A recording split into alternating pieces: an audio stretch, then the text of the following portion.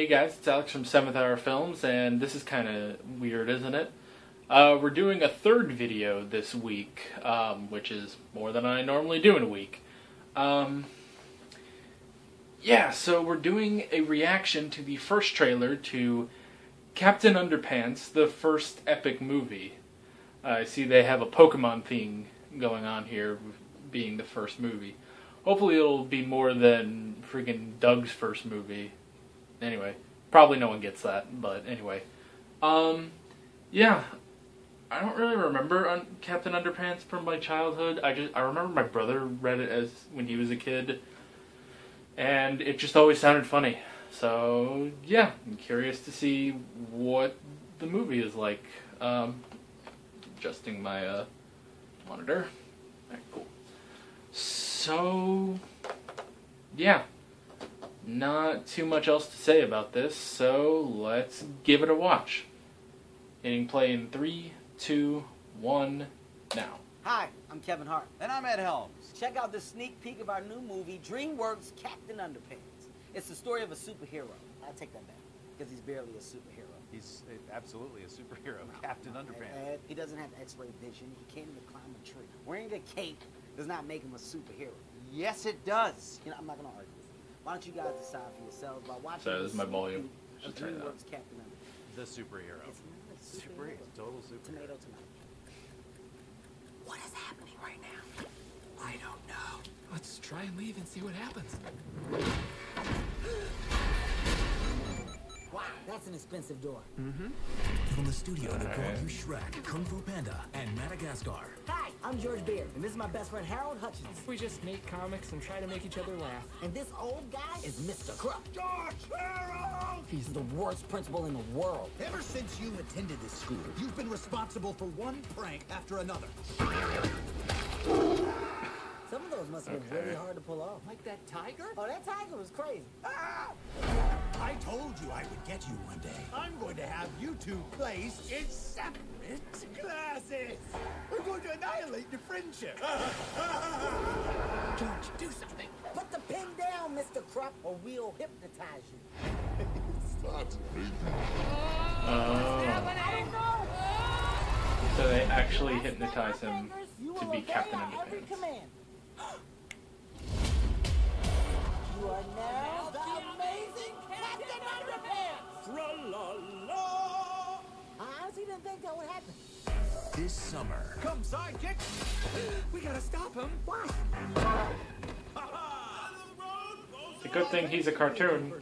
Otherwise, I might have actually hurt. We should probably go get him. their greatest creation. I'm not sure about Kevin Hart as a voice actor, but I take to the sky. it's not bad or anything. It's just a little obvious. Wow, he is super dumb. Is now their biggest problem. Stand down, you monster.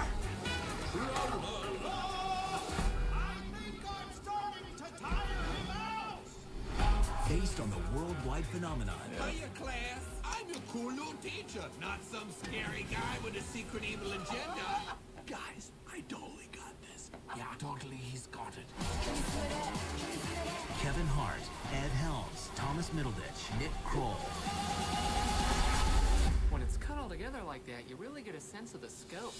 DreamWorks Captain Underpants. Poor soul, you're trapped in some sort of invisible box-like prison. Is it okay that I'm kind of loving this? Yes enough. I will set you free. Oh, but mostly yes.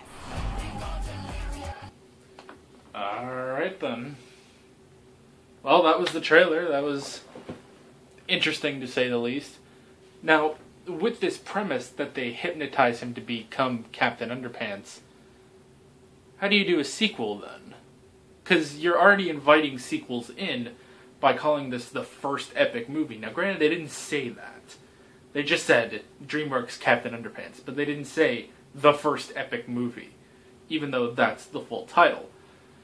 So it makes me wonder, well, how would you do sequels? Does he keep getting accidentally hypnotized? Or maybe at the end of this movie he's going to be like, no, I prefer being Captain Underpants, and I shall go and be the heroic Captain Underpants for the rest of my life.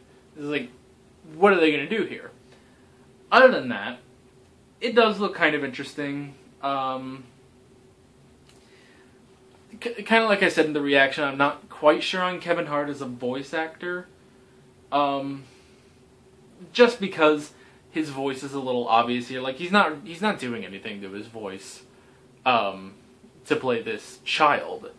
Um, but it works. It'll probably still work um, in the movie. And Ed Helms, I don't know if I've really watched too much Ed Helms movies, so I don't know, you know, if he's generally funny. I think he's a comedian, but I don't know how funny he can be or if he's been a voice actor before. But he seemed fine, and I couldn't really tell that it was Ed Helms, but I don't really have a frame of reference on what his voice is. So, yeah. But it looks interesting, it looks funny. Um, and that's pretty much it. So, end cards are popping up right about now. Uh, you can click on any of those. You can follow uh, me on Twitter at Seventh Hour Films. I guess it's maybe over here. I might have just pointed to it. And yeah, that's pretty much it. I'm Alex from Seventh Hour Films, and I will see you guys next time. Take care.